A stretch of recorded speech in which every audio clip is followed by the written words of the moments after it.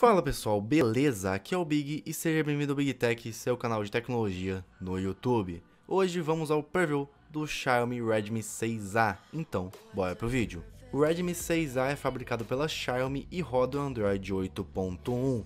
Vale lembrar que o link da pré-venda dele tá aqui na descrição e também no primeiro comentário. Ele possui uma tela de 5.45 polegadas, de resolução 1440 x 720, tecnologia IPS Proteção não foi mencionada nenhum tipo de proteção para esse aparelho e o PPI é 295. Seu processador é o Helio A22, fabricado pela MediaTek, de 4 núcleos, 4 de 2.0 GHz. A GPU é a Power VR GE Class. Suas câmeras não tiveram as fabricantes especificadas, mas a traseira possui 3 megapixels e a frontal possui 5. Vale lembrar que somente a traseira possui o flash e ela grava em 1080p a 30 fps.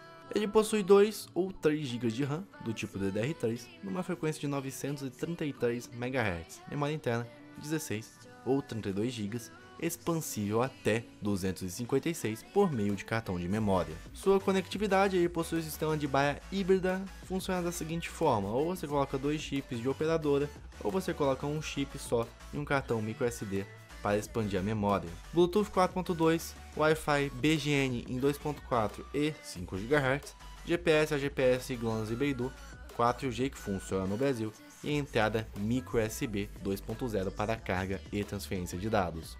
Na parte de sensores, ele possui sensor de proximidade, sensor de luz, acelerômetro e bússola. Sua bateria possui 3.000 mAh, fabricada pela Xiaomi, com uma entrada de energia de 5 volts 1 A, não possui quick charger e a bateria não é removível. Seu design conta com botões virtuais, um corpo em metal, alto-falante na parte de trás, disponível nas cores ouro, rosé, azul e cinza e um peso de 145 gramas. Chegamos então na parte do valor, prós e contras.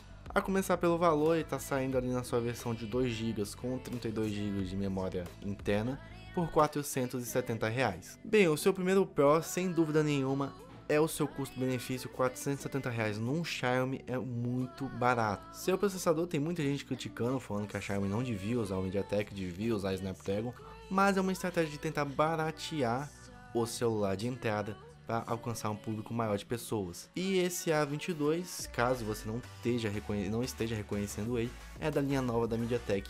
Então ele já vem com várias correções, como consumo de bateria, perda de desempenho e essas coisas. Sua bateria possui 3.000 mAh de bateria, pode parecer pouca coisa, mas é um MediaTek, ainda mais da nova geração, e é um quad-core apenas, com uma tela Full HD, 3.000 mAh de bateria pode parecer pouco, mas é o suficiente para esse celular. E por último, ele vem com reconhecimento facial, que é uma coisa interessante para um celular tão barato assim e que parece ser um recurso tão premium, né? Dá um charme você desbloquear o celular com a sua face. O único conta que ficou é que ele não tem proteção na tela, não foi divulgado nenhum tipo de proteção, se ele usar Gorilla Glass ou não, não foi passada essa informação ainda. Mas enfim, no final é você que decide. Você compraria o Xiaomi Redmi 6A?